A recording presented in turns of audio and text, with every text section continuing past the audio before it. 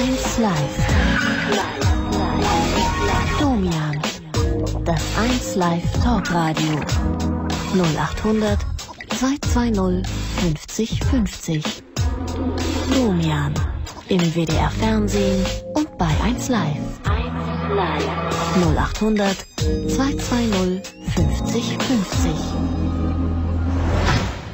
Tja, ihr Lieben, wir sind ein bisschen zu früh und bitten das zu entschuldigen. Willkommen bei Domian, willkommen beim 1 Live Talk Radio. Schön, dass ihr eingeschaltet habt. Willkommen zu einer neuen Woche, die wie immer mit einer freien Themennacht anfängt. Und eine freie Themennacht heißt ja, dass ihr mich anrufen könnt, wenn ihr wollt. Wenn ihr über irgendetwas mit mir reden wollt, diskutieren wollt, streiten wollt, plaudern wollt, wie auch immer.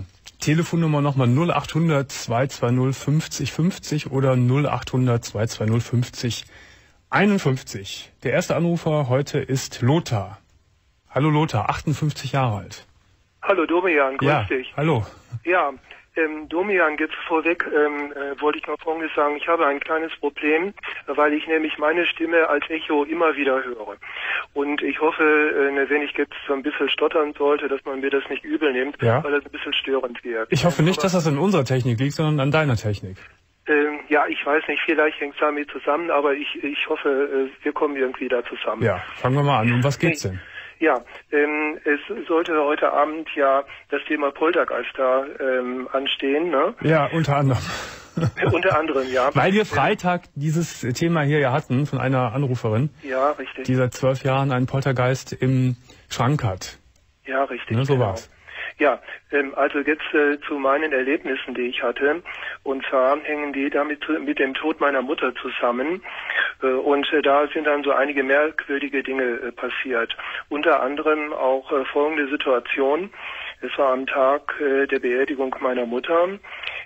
Ich war mit mein, ich kam mit meiner Partnerin am Abend nach Hause. Äh, es war schon dunkel. Äh, wir öffneten die Tür und unmittelbar na, danach, äh, wie ich die Türe schließe, hörte ich ganz lautes Schlagen am Fenster. Von außen? Dem, bitte? Von außen. Ich denke ja. Ja. Das, konnte, das konnte man nicht so äh, klar ähm, jetzt feststellen, ob das Ja. von außen oder innen war. Jedenfalls, es wurde kräftig an dem Fenster äh, vom Zimmer meiner Mutter geschlagen. Mhm. Und zwar so laut und so kräftig, äh, dass ich im Moment äh, geglaubt habe, die Scheibe könnte äh, Ja. zerspringen. Ja. Meine Partnerin, die guckt mich erschreckt an und sagt, was ist da los? Äh, um Gottes Willen, äh, die stand da wie angewurzelt. Ich bin dann ins Zimmer rein äh, und habe nachgeschaut. Jetzt muss man dazu sagen, dass das, äh, dass die Wohnung im fünften Stock ist äh, und äh, habe dann auf den Balkon geschaut, ob da irgendwelche Steine liegen oder ob da sich irgendwas befindet. Mhm. Wobei Aber da das ja schon interessant jetzt ist, dass die Wohnung im fünften Stock ist. Ja, genau. Also Ne, sonst hätte man sofort gedacht, na, da ist irgendjemand unten. Wenn es eine Erdgeschosswohnung ist, hat er gegengeklopft. Ja, richtig. Also du hast dann rausgeguckt Ja. Und da war ähm, nichts. Es war nichts. Und äh, das, äh, äh, diese Schläge, die waren aber so gewaltig, um das nochmal zu sagen, dass ich mich gewundert habe, dass die Scheibe nicht Wie zerstört. lange hi- hielten denn die Schläge an? Das, die kamen ganz dicht hintereinander, so in dieser Form wie tak, tak, tak, tak, tak, so ungefähr. Nicht? Mhm. Und wie Äh, lange, wie lange? Fünf Minuten, zehn Minuten? Nee, nee, das waren äh, nur wenige Sekunden. Ach so, das war dann direkt- Das waren vielleicht fünf, sechs Schläge. Ja. Nicht? War das jetzt ein einmaliges Vorkommnis? Richtig, ja. Das war einmal. Das heißt, nachdem ihr, nachdem ihr von der, von, von der Beerdigung kamt, äh, äh, hast du das gehört oder habt ihr das gehört? Ähm, richtig. Ja. Mhm. Genau. Äh, das meine, da kann, ja, das ist ja dann immerhin noch, ich sage es mal beruhigend im Gegensatz zur Geschichte am Freitag, äh, wo sich das Ganze über zwölf Jahre hinzog, ja, das wenn es nur einmal war. Ja gut, aber äh, gut, vielleicht kann man diese beiden Fälle nicht miteinander so direkt vergleichen, dass Ja. man sagt, naja, das eine, das waren wenige Sekunden, das andere, das geht jetzt über zwölf Jahre. Äh, Wann, wann war das eigentlich? Denn das ist schon, das ist ungefähr jetzt 18 Jahre her. Ja. Aber es hat mich aber über die ganzen Jahre immer beschäftigt. Ja. Und seit ich deine Sendung äh, sehe und verfolge, habe ich immer wieder mal äh, gedacht, es wäre vielleicht gut, wenn ich dich mal anrufen könnte, könnte mit dir darüber sprechen.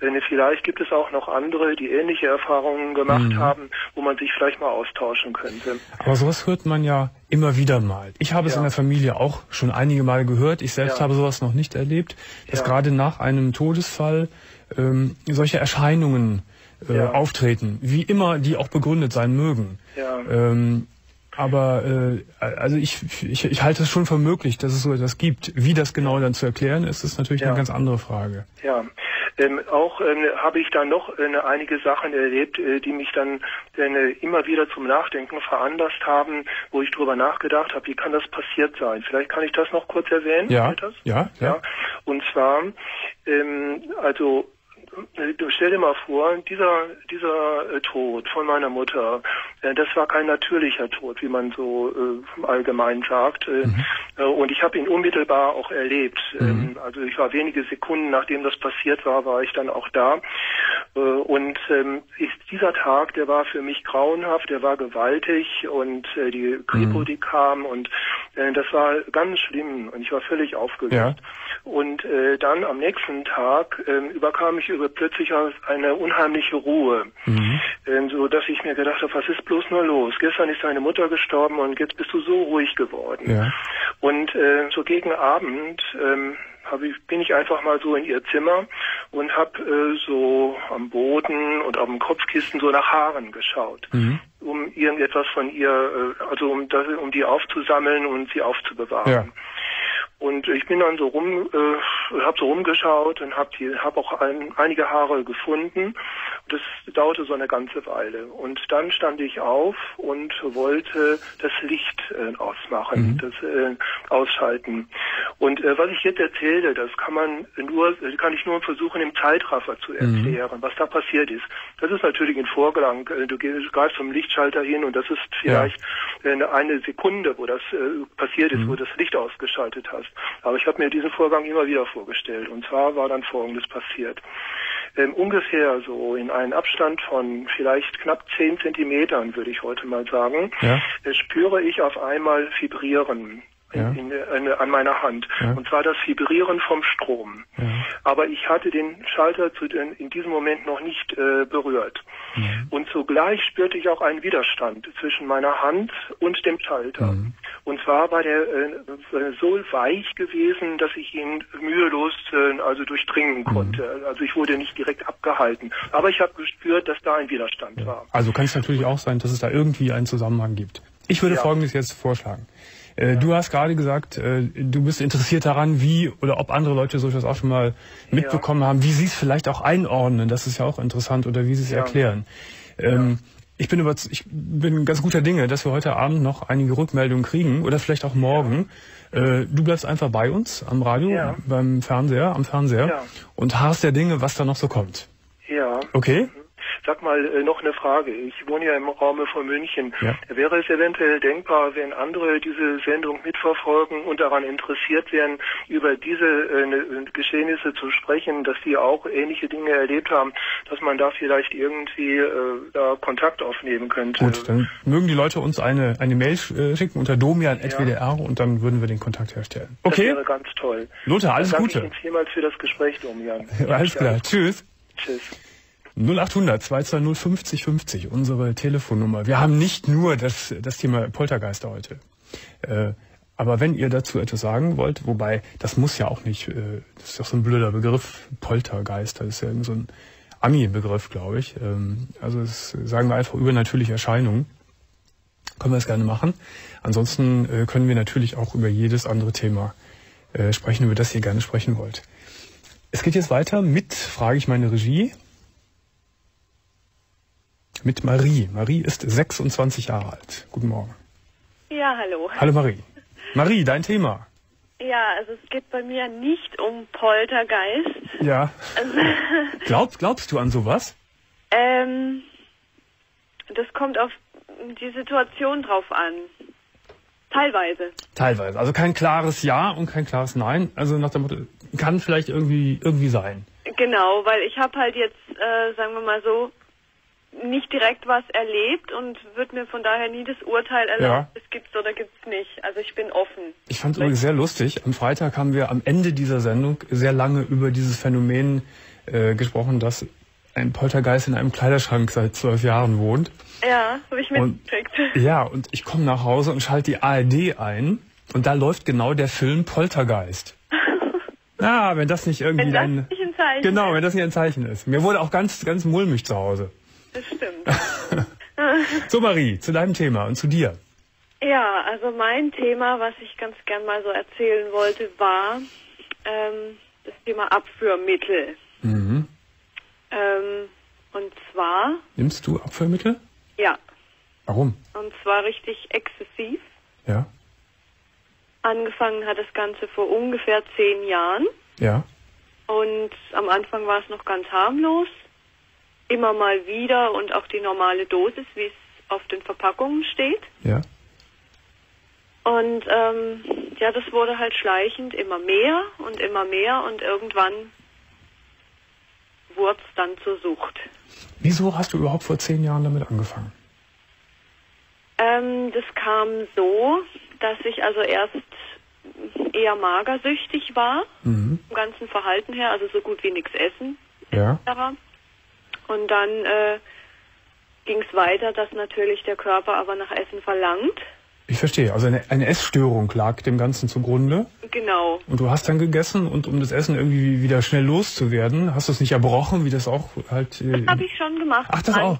Das auch noch. Ja, genau. Und dann war ich aber ähm, in der Klinik zwischenzeitlich mal, aber nicht wegen dem Essproblem, das war was anderes. Ja. Hat aber eine Therapeutin statt mal Guten Morgen zu sagen, war der erste Satz, äh, na, haben wir wieder gekotzt? Oh. Und das fand ich also überhaupt nicht toll. Und dann habe ich. Äh, Aber sie hatte recht. Ja, sie hatte recht. Mhm, mhm. Eben, ich habe mich wirklich ertappt gefühlt so. und konnte damit überhaupt nicht umgehen. Und dann hast du das Erbrechen sein gelassen Genau. und hast dafür Abführmittel genommen. Genau, Damit die Lebensmittel, die du äh, gegessen hast, schnell aus deinem Körper wieder rauskamen. ganz genau. Ja. So fing es an. Also parallel zu einer, zu einer Erkrankung, zu, zu einer seelischen Erkrankung. Dann ist es ganz exzessiv geworden. Vor zehn Jahren fing es an. Äh, was heißt ganz exzessiv? Wie viel Abführmittel hast du dann äh, in, dein, in, der schlimmsten Zeit äh, konsumiert? Also die schlimmste Zeit sieht praktisch so aus, dass es äh, ja manchmal täglich ist, manchmal jeden zweiten Tag. Ja. Und von der Menge her, also nicht mehr ein bis zwei Tabletten, wie es vielleicht sein sollte, sondern durchaus schon mal eine 200er Packung. Das heißt, du leidest Äh? immer, immer noch daran. Ja. Wir reden nicht in der Vergangenheit, sondern du nimmst die immer, immer wieder, auch zur Zeit, aktuell, gegenwärtig. Genau, ja. Ja. Ähm, was heißt dann, äh, wenn du diese Dosis auch nimmst, von der du gerade gesprochen hast? Hast du dann permanent Durchfall? Genau. Mhm. Es ist also, ich sag immer dazu, Dusche von innen. Mhm.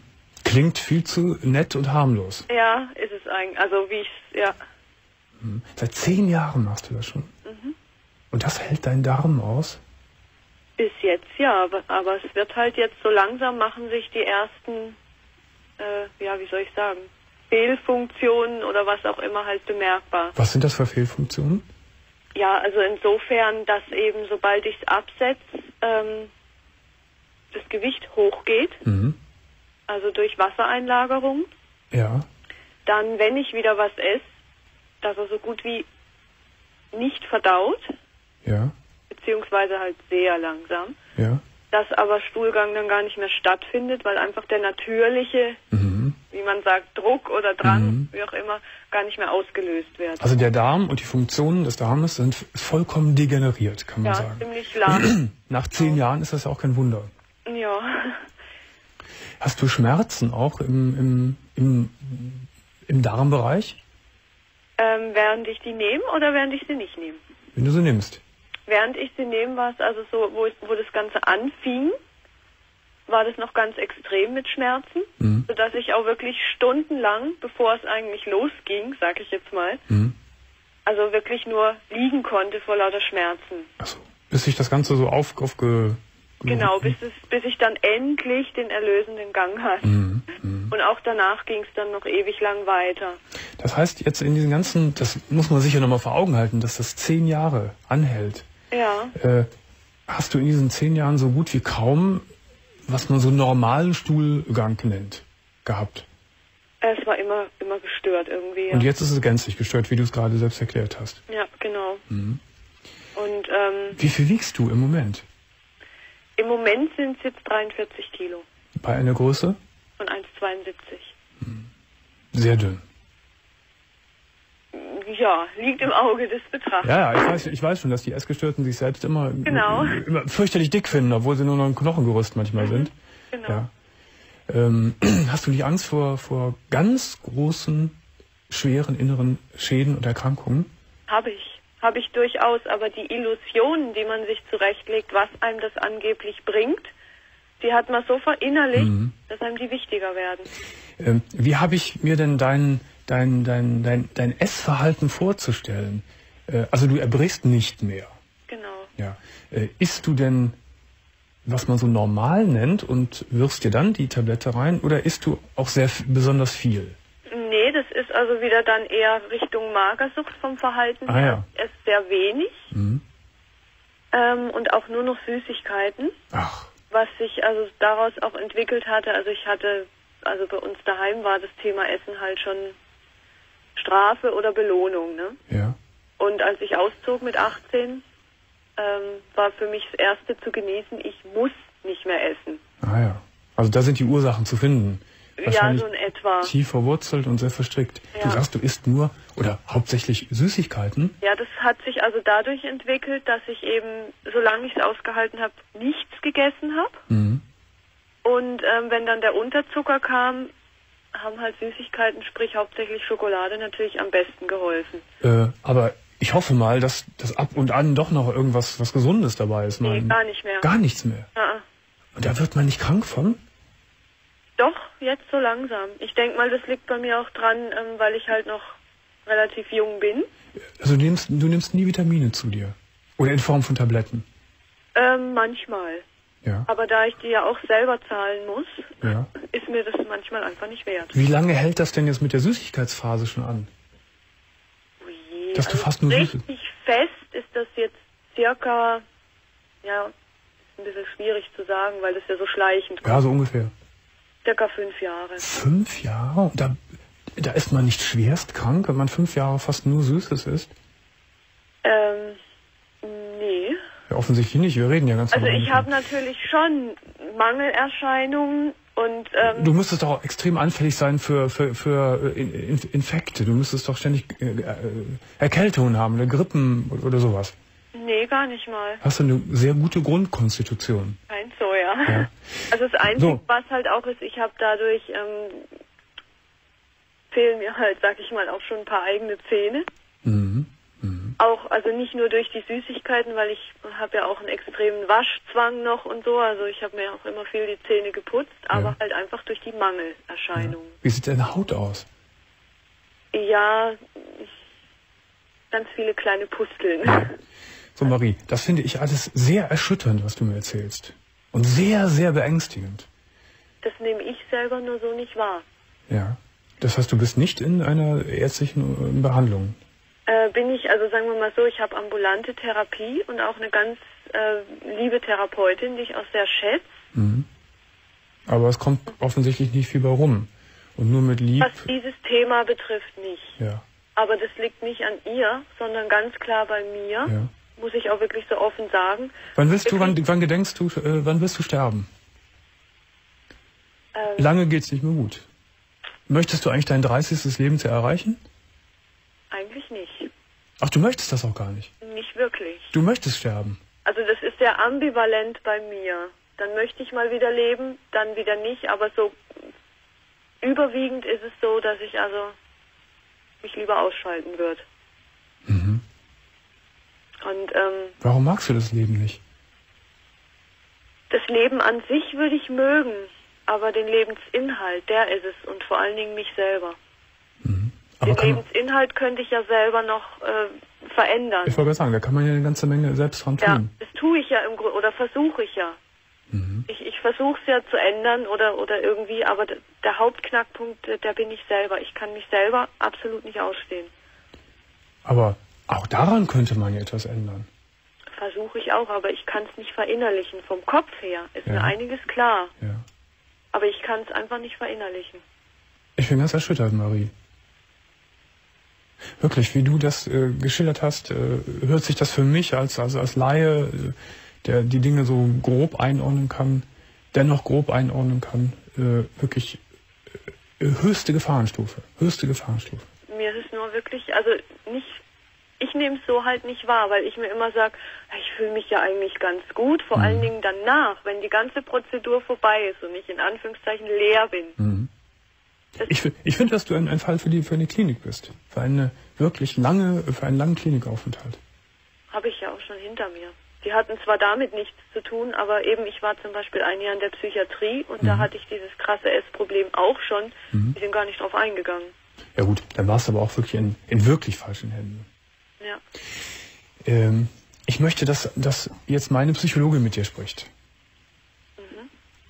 Ich möchte auch sehr gerne dich darum bitten, dass du dich darauf einlässt. Schwierig. Ich merke schon. Es kann ja nicht schaden. Und du kannst auch im Gespräch gleich mit Elke sagen, okay, ich möchte nicht mehr.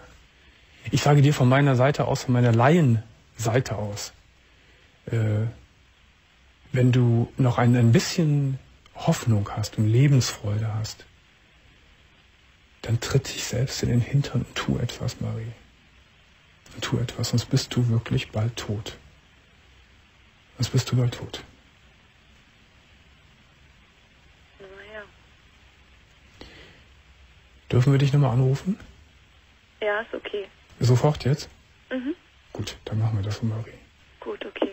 Meine Wünsche und ganz viel Kraft wünsche ich dir. Die kann ich brauchen. Das Danke. weiß ich. Okay. Alles Gute. Danke gleichfalls. Dankeschön. Tschüss. Tschüss. Dana, 28 Jahre alt. Guten Morgen. Ja, morgen. Hallo Dana. Hallo. Deswegen hast du mich angerufen. Ähm, ich habe auch ein nicht so ähm, tolles Thema. Aber das zieht sich wohl durch deine Sendung gerade. Es geht um den Tod auch, aber diesmal um meine Tochter und nicht um mich. Das Ähm, heißt, du hattest ein Kind, das ist verstorben. ja, Ja. Wie alt ist das Kind geworden? acht Monate. Ja. Mhm. Was ist passiert?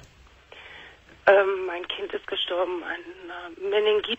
Das ist, glaube ich, besser bekannt als... Gehirn, Als, ähm, genau. Gehirnhautentzündung. genau. Ja. Mhm. Wann ist das passiert? Am 1. Januar diesen Jahres. Ja. Mhm.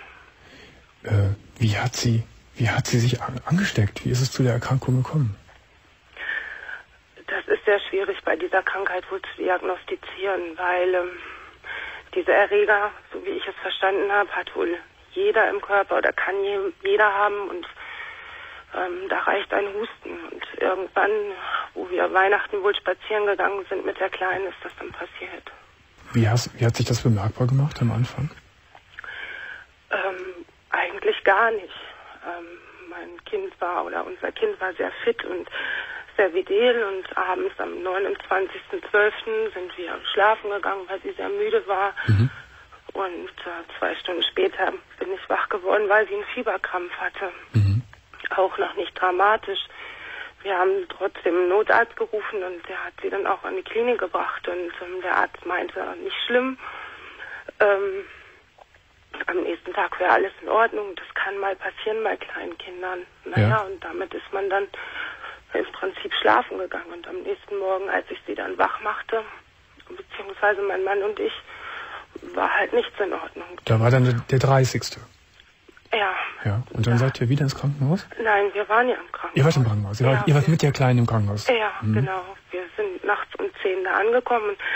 Man hat sie auch da gelassen und ähm, morgens habe ich sie versucht ähm, zu wecken und ähm, sie war halt sehr komisch und ähm, hatte solche, man sagt äh, medizinische Einblutungen, das ist jetzt schwer zu erklären, das sind so wie rote Punkte überall. Mhm. Und ich hatte erst gedacht, das wären so Hitzepocken von Fieber und rief aber trotzdem nach der Ärztin. Naja, und dann guckte die mich noch ganz entsetzt an und riss mir mein Kind aus dem Arm und dann ist sie eigentlich ähm, sofort, in, haben die sie in ein Koma versetzt und da ist sie dann nicht mehr aufgewacht. Am 1. Januar war es dann vorbei. Das heißt, das Ganze ging alles rasend schnell irgendwie. Innerhalb Ja. von, von zwei Tagen, kann man sagen. Ja, Ja. Was ja einen, einen, einen, einen, irren Schock verursachen muss. Ähm, ja, am Anfang hat man das nicht registriert. Ja, ja, ja. ja, ja. Ja, Äh, als das Kind dann in, in das künstliche Koma versetzt wurde, war denn da den Ärzten klar, was los ist? Hatte man es denn dann richtig diagnostiziert? Man wusste es in dem Moment, wo man sie morgens gesehen hat, ja. Durch diese roten Flecken am Körper? Ja. Mhm. Wohl sofort klar. Die haben zwar da noch ein sehr großes Geheimnis drum gemacht und naja, das ist wohl Medizinersprache, aber mhm. ähm, es war im Nachhinein, man hat sich mit der Krankheit sehr beschäftigt und ja. Das heißt, dieses dieses neue Jahr 2003 fing mit einem unvorstellbaren Unglück an ja. für euch. Ist es euer erstes Kind? Ja. Und euer, einz ja, euer einziges Kind? Ja. Mhm. Mhm. Auch. Mhm. Beides ja. Ja. Nun sind acht Monate vergangen. Mhm. Neun Monate vergangen. Ja. Wie lebst du heute mit diesem Unglück? Ähm, manchmal glauben wir gar nicht, weil ähm, man ähm, vergräbt sich in viel Arbeit und ähm, mhm. Ähm, mein Mann kommt, glaube ich, so gar nicht damit klar und ähm, es ist sehr schwer, weil natürlich das Umfeld auf der einen Seite nicht weiß, wie sie mit uns umgehen sollen und weil die unsicher sind. Ja, natürlich ja, ja. und sie auch nicht wirklich helfen können. Das ist. Redest du mit deinem Freund, mit deinem Mann? Äh, Nein. Nein. Nein, ab und zu. Das sind aber nur so der Beginn von einem Gespräch und dann wird es aber abgebrochen, mhm. weil es einfach zu weh tut. Hast und du denn einen, einen Menschen, du, du jetzt für dich, mit dem du oft darüber sprechen kannst?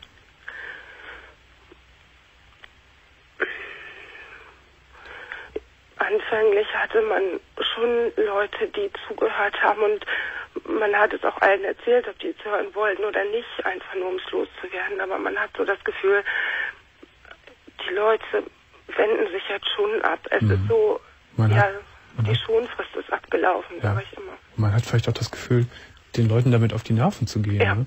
weil, man, genau. weil man immer dasselbe erzählt. Ja, genau. Und dann fragen die Leute, wie geht's einem? Und dann sagt man drei oder viermal, mir geht's immer noch schlecht. Ja. Und dann schämt man sich schon fast zu sagen, es geht einem immer noch schlecht. Ne? Genau.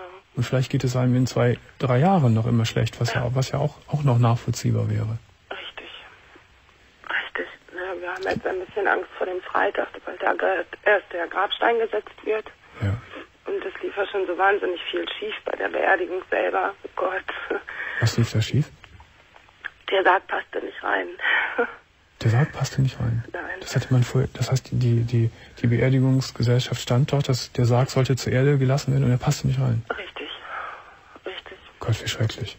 Das, ähm, dieses gebuddelte Loch da war halt zu klein und ähm, mhm. dann haben die da versucht, das dreimal, ähm, ja, dreimal mussten sie ansetzen und beim dritten Mal passte es denn und jetzt hat man natürlich Angst, dass beim Grabstein auch irgendwas schief ist. Ja. Vielleicht der falsche Name drauf oder so. Ja, was wahrscheinlich nicht, nicht der Fall sein wird. Nein. Man, man denkt natürlich so dann. Ja. ja. Gehst du oft äh, zum Grab? Ähm, die ersten Monate war ich täglich und ähm, über Stunden ja.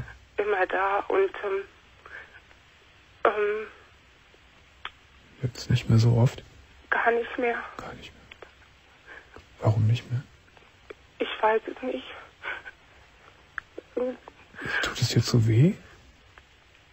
Ähm, er hatte mal gesagt, zum Trauer, es gibt ja so ganz, ganz viele Bücher und da mhm. steht dann immer drin, am Anfang ist das der Schock und ich weiß nicht, ob das weh tut, aber ich habe so das Gefühl, es, es bringt mir einfach nichts. Mhm. Es ist ähm, natürlich, es tut zu sehr weh und ähm, der, ähm, man, man will auch, das klingt jetzt ganz schlimm, mein Mann findet das auch immer schlimm, wenn ich das sage, aber ich möchte sie so gerne aus meinem Kopf raus haben. Mhm. Im Herzen will ich sie ja schon behalten und da wird sie auch immer drinnen bleiben, aber aus dem Kopf, weil das ja. Leben einfach ja. nicht ertragbar ist so. Mhm. Hm.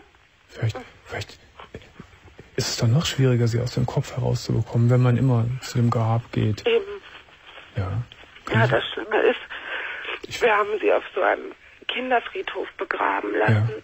Es gibt ja einen Kinderfriedhof, das ist, so blöd, das klingt sehr niedlich, aber es sind halt nur Kindergräber, weil wir uns gedacht haben, da gehört sie ja hin. Mhm. Was soll sie? Wir haben zwar so eine Familiengruft, aber was soll sie da? Da kennt sie keinen. Das klingt ja ziemlich absurd, aber mhm. so haben wir halt gedacht. Und daneben ist ein Mädchen begraben, die ist an derselben Krankheit gestorben und das ist, ähm, man wird halt immer wieder konfrontiert. Ja, ja. Ich kann das auch verstehen, wenn du sagst, ich möchte da erstmal nicht hingehen. Ge geht dein Mann genauso damit um oder geht er öfter noch an das Grab? Mein Mann geht eigentlich gar nicht. Er verbindet dieses Grab immer mit diesen zwei, drei Tagen, wo wir in der Intensivstation gestanden haben, weil für meinen Mann war es dann noch schlimm, weil sie war zwar am 1. Januar Hirntod, nennt man das wohl, und mhm. ähm, vom Gesetzgeber her müssen 48 Stunden lang die Maschinen anbleiben. Mhm. Nach 48 Stunden werden die Maschinen ausgeschaltet und ähm, und mein Mann war halt dabei, wo die Maschinen ausgeschaltet worden sind. Und ja. er hat immer gesagt, er sieht dann nur sie halt.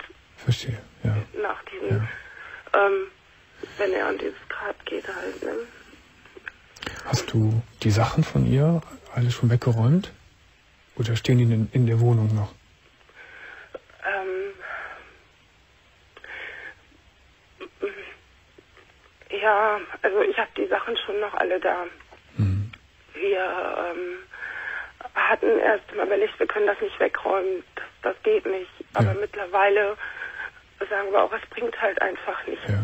Ähm, also glauben wir zumindest. Aber man weiß ja auch nicht, was man richtig und was man falsch macht. Das, es gibt ja in dieser Situation kein richtig und kein falsch. Ich habe so ein bisschen den Eindruck, Anna, dass dir das Gespräch sehr schwer fällt, was wir führen gerade. Ist das, ja. so? ist das so? Ja. Das ist okay. Ähm, sagt dir der Begriff Verweis der Eltern etwas? Ähm, ich glaube, das ist ähm, glaube ich, so eine Internetpräsenz, oder? Nee, das ist ein, eine, ein, ein, ein bundesweit gestricktes äh, Netzwerk fast schon von Selbsthilfegruppen, wo Eltern sich zusammenfinden, die aus welchen Gründen auch immer ihre Kinder verloren haben. Und ich weiß aus Gesprächen hier mit Zuschauern und Zuhörern, dass das etwas, dass das eine sehr gute Einrichtung ist.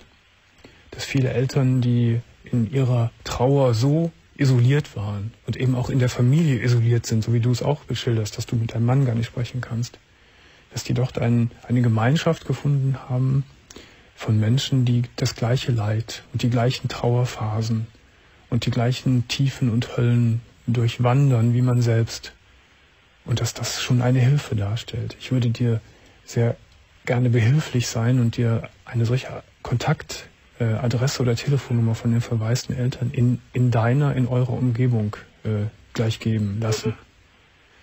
Weil ich immer der Überzeugung bin, dass man in einer solchen schweren Notsituation, dass man, dass man sprechen muss. Und wenn man das in der Familie nicht kann, dann muss man es außerhalb tun. Und du sagst ja selbst, dass du dich gar nicht mehr traust, mit den, mit den Bekannten oder mit, der, mit, mit Verwandten zu sprechen. Mit, mit den Menschen der verwaisten Eltern kannst du sprechen, weil es denen genauso geht, wie es dir geht. Ganz genauso. Also ich kann es nicht gerne. Ich nehme es gerne an, natürlich. Ja. Dann verfahren wir jetzt mal so, mhm. dass, dass du auflegst und meine Psychologin, die Elke, ruft dich an mhm.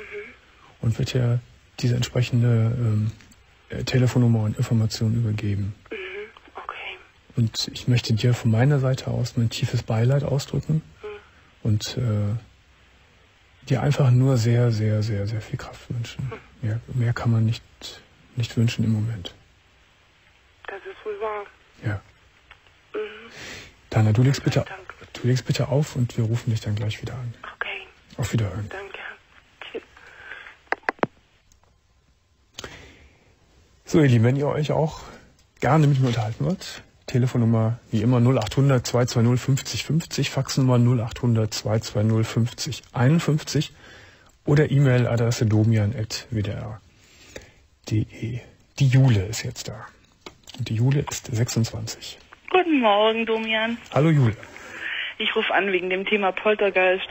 Aber bevor ich dazu was sage, möchte ich der Marie sagen, dass sie ihr Leben nicht so wegschmeißen soll. Ich habe Ähnliches hinter mir und äh, es ist das Dümmste, was man machen kann. Mhm.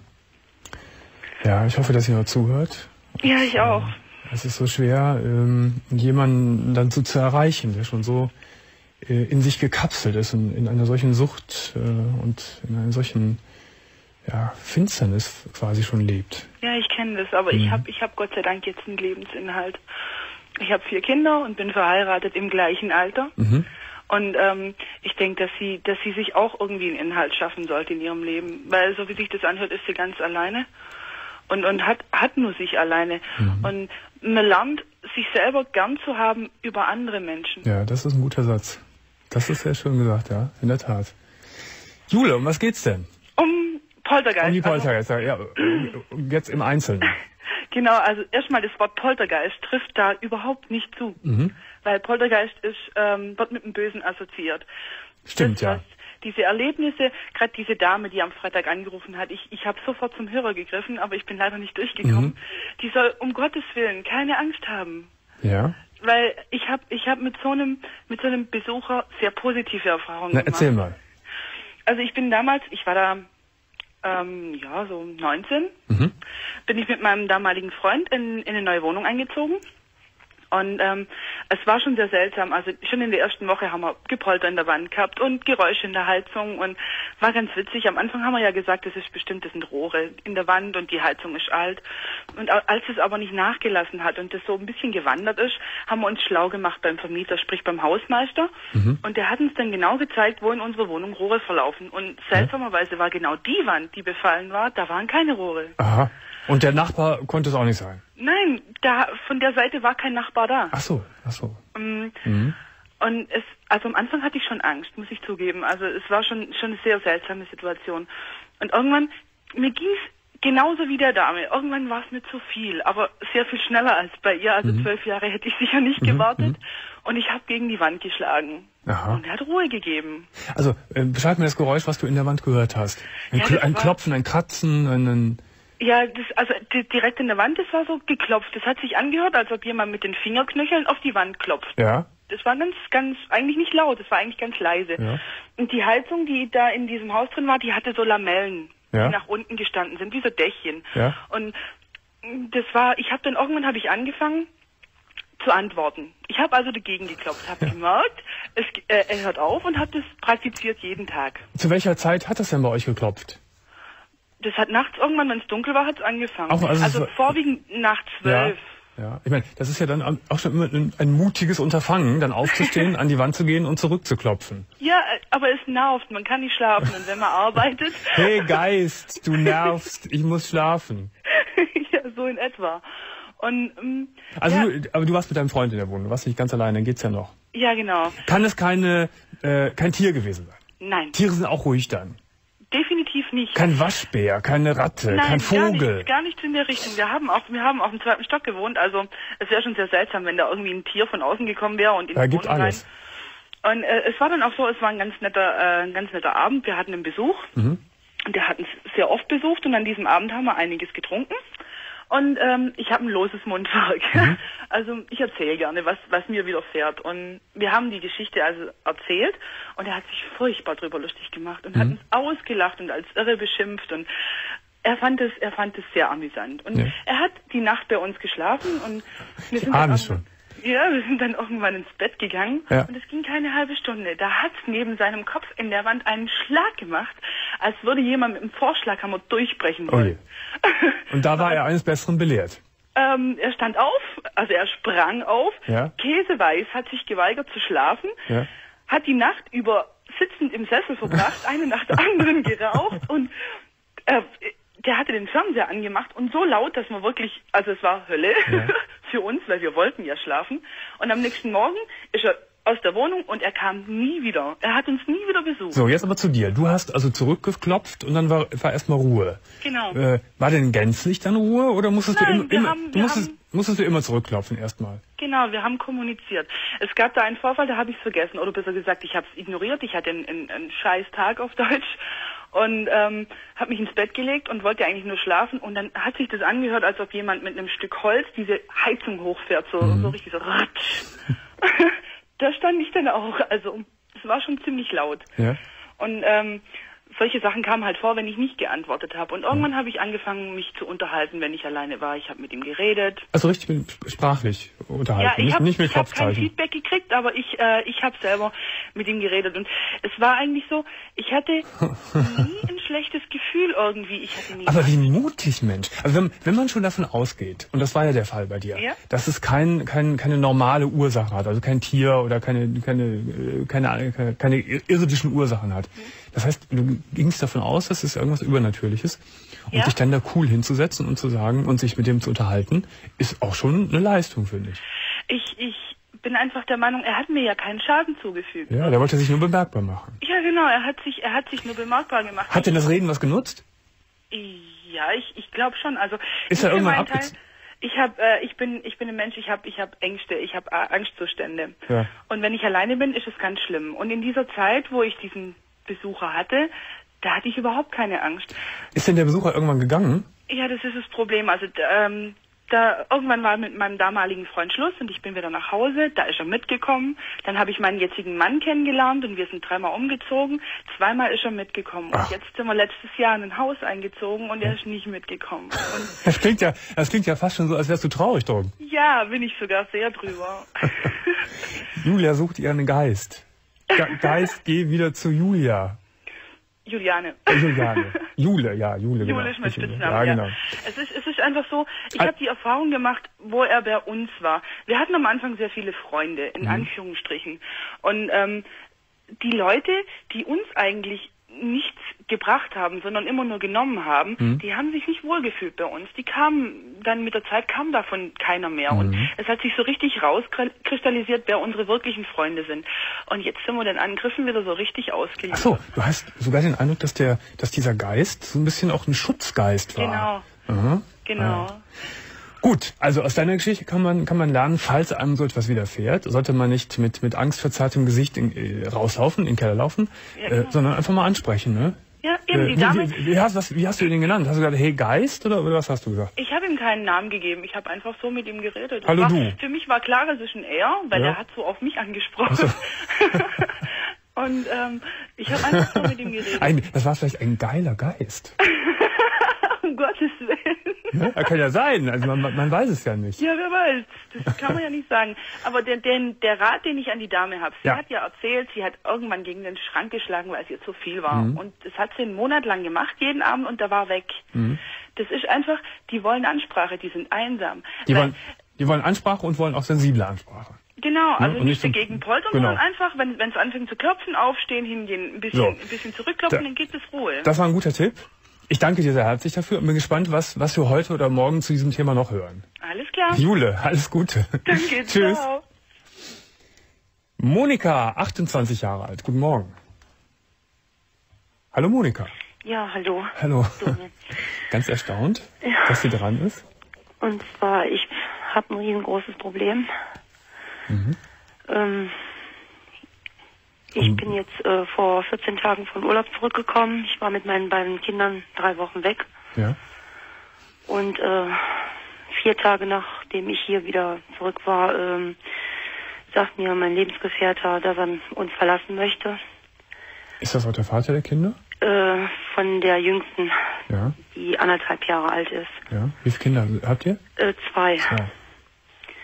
Und ja, und dann kriege ich so von ihm einfach so krass gesagt, also dass er Ohne- keine Verantwortung mehr tragen möchte über uns, ähm, Ohne dass du vorher irgendwie eine Ahnung hattest, dass da irgendwas ohne dass ich überhaupt eine Ahnung hatte, nein. Warum will er, will er gehen?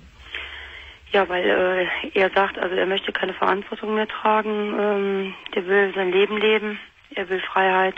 Aber offensichtlich äh, liebt er dich dann auch nicht mehr. Äh, also das, was ich also noch äh, weit vor meinem Urlaub gesehen habe, eigentlich nein, nein. Mhm. Was hast du denn gesehen vor deinem Urlaub? Ähm, ja, also er hat mich also öfters abgelehnt. Mhm. Also im, im, im Sexuellen meinst du? Auch, ja. Ja. Wie, wie, wie sonst noch? Ähm, ja, jetzt, wo er uns am Flughafen abgeholt hatte, ähm, dann hat er meine große Tochter ähm, umarmt. An der kleinen, die Kleine hat er so gestreichelt, die war am Schlafen im, im Buggy. Ja. Und äh, ja, und ich bin dann zu ihm hingegangen, weil er kam dann nicht so zu mir ähm, Ja. und habe mich um seinen Hals, also, also ihm umarmt, äh, beziehungsweise ähm, wollte ich ihn küssen und ja, und da war der total kalt zu mir, hat Ja. mich nicht also umarmt Ja. oder Das sind natürlich so Hinweise, dass, dass einiges. Aber äh, wie lange seid, seid ihr zusammen? äh, sieben, siebeneinhalb Jahre und Siebeneinhalb. davon leben wir viereinhalb Jahre zusammen. Äh, Wenn du jetzt so äh, zurückdenkst, die letzten Monate oder vielleicht sogar die letzten Jahre, äh, kommen dir da so, so Signale, die du vielleicht nicht richtig verstanden hast, Äh. aber die dir jetzt klar sind? Ja, also wir hatten schon also einige Probleme, aber ähm, okay, also äh, zum Beispiel, dass wir hatten finanzielle Probleme, Mhm. äh, wo ich eigentlich alleine zahlen durfte, das meiste. Ähm, dann, also seit vier Jahren habe ich mit seinen Eltern keinen Kontakt mehr, weil sie mich absolut nicht mögen. Ja. Äh, ja, und dann eben halt, äh, seit wir die gemeinsame Tochter haben, die 18 Monate alt ist, äh, er kümmert sich also so gut wie gar nicht um sie. Was Es gibt ja, Tage, er sieht die nicht, es gibt Tage, also wenn überhaupt zehn Minuten. Was ja auch sehr merkwürdig ist, es ist sein Kind. Ja. Und ähm, Also kann man eigentlich sagen, dass in dieser, dieser, dieser Beziehung schon eine ganze Weile es gekriselt hat. Ne? Und man hat es unter den Tisch, unter den Teppich gekehrt. ja, und also hat, hat irgendwie so weitergewurstelt, wie das ja ganz viele Menschen machen. ja, richtig. Jetzt, jetzt ist er jetzt schon weg. Nein, Er will. nein, also äh, er hat es mir letzte Woche Sonntag gesagt. Mhm. Dann war er Dienstag und Mittwoch nicht zu Hause. Und äh, ja, und dann habe ich ihn aber angerufen äh, nochmal äh, am Mittwoch, weil die zwei Kinder total unruhig waren. Auch, also die Kleine, die hat nachts äh, zwei Nächte, also irgendwie alle 20 bis 30 Minuten war sie wach und war am Schreien. Hast du die, die Vermutung, dass, ähm, dass eine andere Frau im Spiel ist?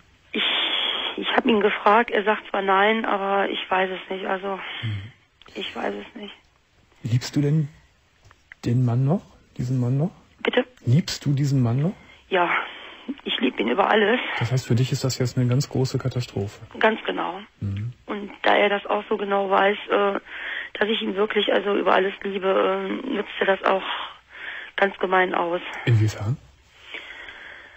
Inwiefern? Also ich habe ihn zwar gebetet, also äh, uns nochmal eine Chance zu geben. Er sagt also nein. Äh, er redet aber ähm, ganz normal mit mir. Mhm. Und ähm, heute zum Beispiel, also beziehungsweise gestern Nachmittag ähm, hat er also ähm, dreimal zu mir ähm, Maus gesagt und Schatz. Und wenn ich ihn frage, warum er mich denn so nennt, dann sagt er, ach, das ist Gewohnheit. Ja, also das deutet auf ein eher un- unsensibles Verhalten seinerseits hin, dass er es für sich alles entschieden hat und plappert das noch so raus, ohne dass es einen Hintergrund hat und ohne dass er darüber nachdenkt, was diese Kosenamen bei dir auslösen. Mhm. Ne? Richtig. Richtig. Äh, aber du hast schon den Eindruck, dass er für sich entschieden ist, dass da nichts mehr zu machen ist. Nein, also ich, ich weiß, also das ist dumm von mir, aber ich, seit Sonntag letzte Woche, also ähm, außer die zwei Tage, die er letzte Woche nicht hier war, ähm, jeden Tag, also äh, flehe ich ihn an, also dass er uns eine Chance geben soll. Weil das für mich einfach, also äh, Du darfst natürlich auch keinen Fehler machen, Monika. Du darfst das, du darfst das nicht klammern und du darfst nicht betteln. Du Ja. wirst, du wirst so klein und noch viel unattraktiver für ihn, als du es vielleicht ohnehin schon bist. Du musst dir schon eine Haltung bewahren und auch einen gewissen Stolz. Du sollst auch um deine, um die Beziehung äh, kämpfen, was immer das auch, auch heißen mag. Aber Vorsicht, ich habe fast die, den Eindruck, du machst einen großen Fehler im Moment. Ähm, die Frage ist wirklich, ich meine, du hast wahrscheinlich die Hoffnung, aber die Frage ist, was ist bei ihm noch da? Aber wenn, das ist die große Frage. Und wenn da noch was ist, ist er bereit, dafür etwas zu unternehmen? nein, Nein. nein. Dann musst du ihn gehen lassen, Monika. Dann lass ihn erst mal gehen. Nur ich weiß nicht, wie ich ähm, das weiter ähm, machen soll, alles. Also, Geht es auch um finanzielle Dinge? nee, nicht direkt, aber Aber alleine schon, dass ich ihn so liebe. Mhm. Ähm, unsere gemeinsame Tochter, Ja. Aber man kann, so, so bitter das auch immer ist, äh, für, für die Betroffenen. Man kann natürlich niemanden mit Gewalt zurückhalten. Nein, natürlich nicht. Und je mehr man zerrt, umso größer ist die Gegenwehr von der anderen Seite. Mhm. Ähm, und wir wissen ja überhaupt nicht, was da los ist bei ihm. Wir wissen nicht, ob da eine andere Frau ist. Wir wissen nicht, warum nimmt der das Kind nicht an, sein eigenes Kind. Das ist ja, das sind ja ganz viele Rätsel, äh, die du mir gerade erzählt hast. Ja. Warum, warum? Äh, ich würde, ich, ich würde wirklich an der Stelle so, so bitter und so schwer das auch ist und so schmerzhaft das ist, äh, jetzt sagen, okay, wenn du das so siehst, dann ich, ich würde, sag ihm das, das weiß er auch, dass du gerne mit ihm zusammen sein würdest, aber sag ihm, dann geh. Wenn es jetzt nicht anders geht, dann geh. Ja. Er, diesen Vorschlag will ich gar nicht machen, weil ich, weil ich hundertprozentig schon sicher bin, aufgrund dessen, was du gerade erzählt hast, dass er das nicht tut. Er würde ja auch nie mit dir zu einer, zu einer Paarberatung gehen, ne? zu einer psychologischen Beratung. Nein, ich habe ihm auch gesagt, also, ähm, dass er vielleicht eine Therapie machen sollte. Aber dann hat er gesagt, nein, also eher auf gar keinen Fall. Ich würde, ich würde dir allerdings raten, Monika, wenn du so große Probleme damit hast und wenn du keine Ansprechpartner hast, die dir ein bisschen helfen und dich unterstützen, dass du dir eine, ein, eine, eine Hilfe von außen suchst, dass du zu einer Beratungsstelle gehst. Damit dich das nicht zu sehr umhaut, denn du hast ja eine Art Verantwortung zu tragen für die Kinder und du musst dir dein, dein Alltag und dein Leben musst du ja weiterführen können. Ja, ja. Und die erste Zeit ist natürlich dann immer die allerschlimmste Zeit, dass, dass, du, dass du stabil genug dafür bist. Aber klammer dich nicht zu sehr an diesen Mann. Okay. Das sagt jetzt so der Kopf. Ich weiß, dein Herz tickt ganz anders. Aber man muss immer wieder den Kopf gegen das Herz halten in solchen Situationen. Sonst geht das Herz mit einem durch und man macht ganz viele Fehler. ja. Möchtest du denn mit meiner Psychologin auch noch, mal ein paar Worte sprechen? Das wäre ganz gut. Gut, dann machen wir es so. wäre. Ja, dann legst du auf und die Elko ruft dich gleich nochmal an. Alles klar. Alles Gute. Vielen Dank. Tschüss. Tschüss. Äh, heute ist der Frauentag hier bei mir. Ich hatte erst einen Mann, ne? Ist so, ja. Jetzt kommt nämlich wieder eine Frau. Eine junge Frau. 24 Jahre alt und sie heißt Alexandra. Hallo. Hallo. Hallo Alexandra. Ja, also ich habe auch ein Problem Ja? und ähm, es geht darum, ich bin krank. Ja, was hast du für eine Krankheit? Ähm, ich ähm, habe einen gutartigen Tumor am Darm gehabt. Mhm. Der wurde entfernt. Ja. Dann ähm, Darf ich, mal, darf ja, ich mal kurz zwischenfragen? Du, du bist ja nur sehr jung noch, mit 24 und Darmtumor ist ja nicht so ganz üblich oder ist eher ungewöhnlich. Wie hat man, Ja. das, wie hat man das überhaupt rausgekriegt, dass du da einen Tumor hast? ja, das ist eigentlich eine ganz witzige Geschichte. Ich hatte zwei Katzen, habe mit denen rumgespielt, bin übers Katzenspielzeug gestolpert und auf Steißbein gefallen Ja, und hatte Schmerzen. ja, Habe erst gedacht, na, ist vielleicht eine Prellung oder was auch immer. ja. So, habe mir nichts weiter dabei gedacht. So, und das wurde dann aber immer schlimmer. Dann bin ich ins Krankenhaus. Mhm. Da hat man dann geröntgt und hat mir gesagt, ja, das Steißbein ist gebrochen. Mhm. Ist nicht so wild, wird wieder. Ja, So, dann habe ich Spritzen bekommen und ähm, es wurde aber immer schlimmer. ja, Dann bin ich in ein anderes Krankenhaus gekommen und die haben dann ein MRT, also ein Magnetstromresonanztherapie nennt sich das ja, ja. gemacht ähm, und haben eben festgestellt, dass das Steißbein gar nicht gebrochen ist, Ach, sondern dass da ein Tumor war. ach. Und der durch diesen Sturz so ähm, irgendwie gereizt wurde, dass der auf die Nerven gedrückt hat. Das ist ja, das ist ja unglaublich. Ja, das ist also, Also was für ein A, was für ein Zufall. ja, Äh, und zum anderen unglaublich, dass, dass das erste Krankenhaus ein, also ein Steißbeinbruch wird man ja relativ einfach diagnostizieren können. Da guckt man auf eine Röntgenplatte und guckt, ob Ja. die Knochen in Ordnung sind oder nicht. ja ich meine, ich habe denen das eigentlich auch geglaubt, weil der hat mir da auf dem Röntgenbild irgendwas gezeigt. Ich meine, gut, ich habe nur das Steißbein, also die Knochen gesehen. Mhm. und der meint eben, ja, da ist da so eine kleine Lücke und da muss es gebrochen sein. Und Ah, ja, ja. für mich war die Sache dann erstmal erledigt. Ja. So, über diesen extrem seltsamen Zufall, äh, Ja. da, dank des Katzenspielzeuges, Ja, ist, ist herausgekommen, dass du mit deinen 24 Jahren Darmtumor hast. ja, Einen gutartigen. ein gutartigen, ja. Und der ist dann entfernt worden.